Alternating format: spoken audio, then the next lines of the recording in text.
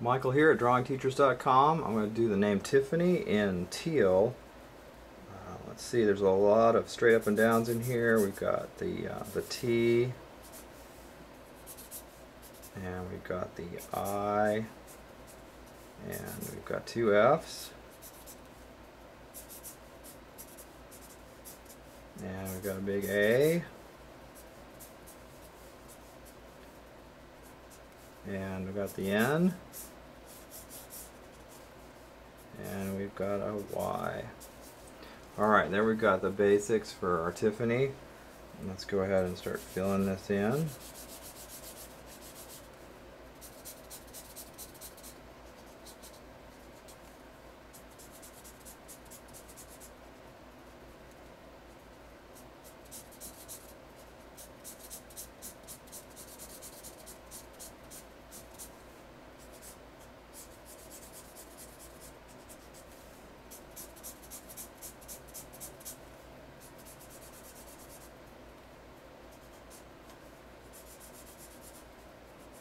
It's okay if some of these touch, like if that part of the T connects up right there with the I, and uh, let's let the F connect, we'll let it connect down there.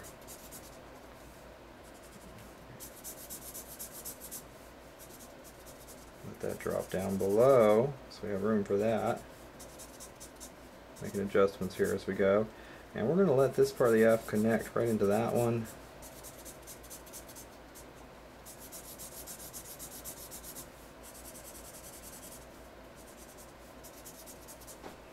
Alright, see how that's going? Shade in the sticks on that. Looks like that's going to connect right there. Let's kick that up a little bit. That bridge right there. Short piece right there. Looks like the the A and the N, we're going to let those just connect as one together there serif on that end and we'll do one up here on this one. These serifs are just like rectangles.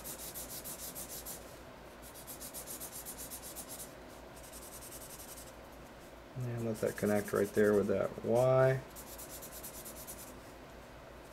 Let that connect in there.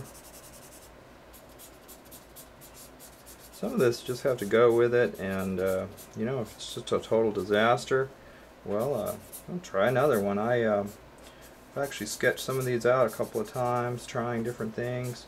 Some of them work really well in the first iteration. Some of them I have to do several times before I get a feel for how all the letters are going to connect together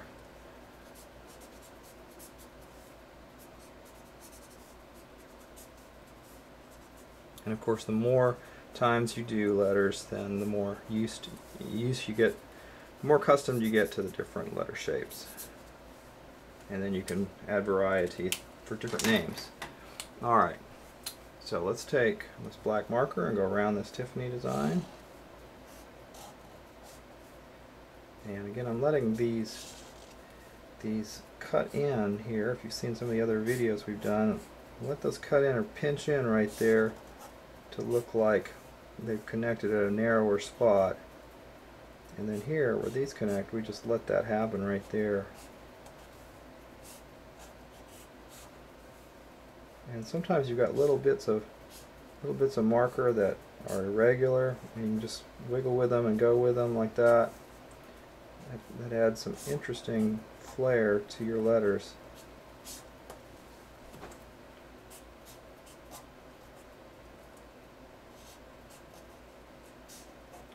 These are certainly letters that are hand done. You can't get this kind of look with a computer program because you're adding your own special touch to the letters.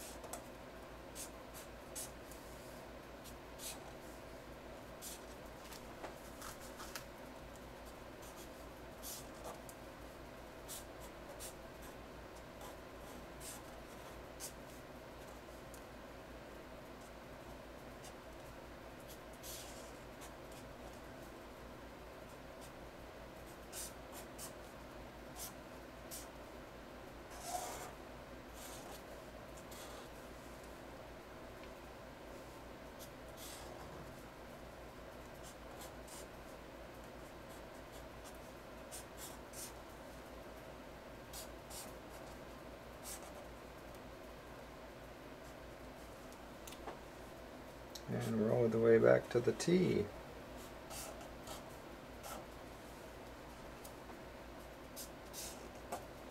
Alright, Tiffany and teal.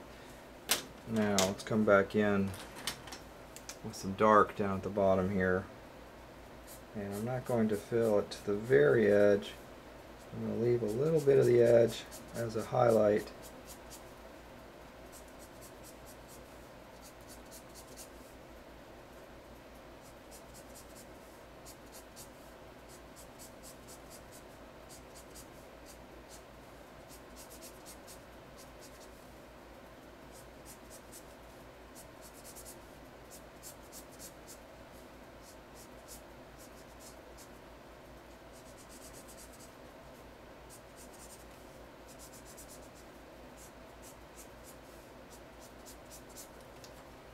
And I'm going to use this same teal here to shoot a border around the whole name.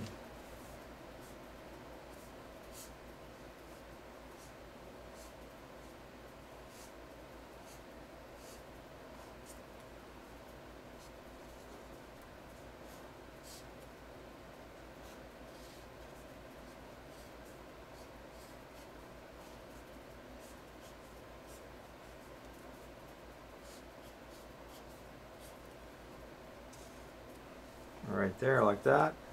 And let's go ahead and use this, this interesting cascading base here. To do some cool wavy things here.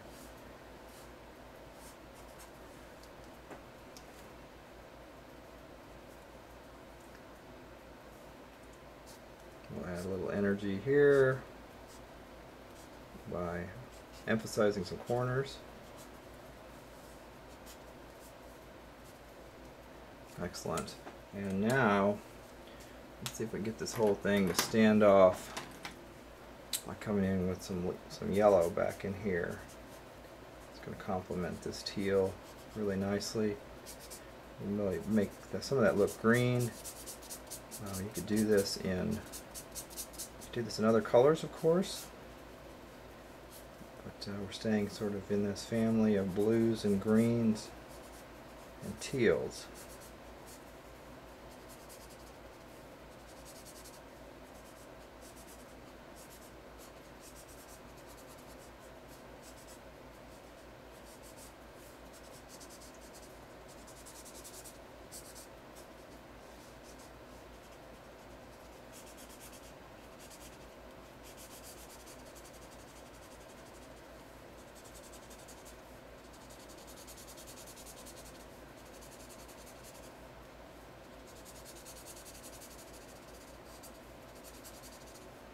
Fun thing to write your name this way. Also fun thing to write it this way for a friend. See a spot in here where we didn't connect.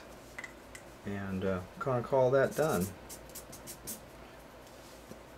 So, uh, Tiffany, I hope you like that. There are other things you can do with it to, to liven it up, but uh, we're going to go ahead and wrap this lesson up and you can use this same technique for uh, really any letters, so have fun making your graffiti name.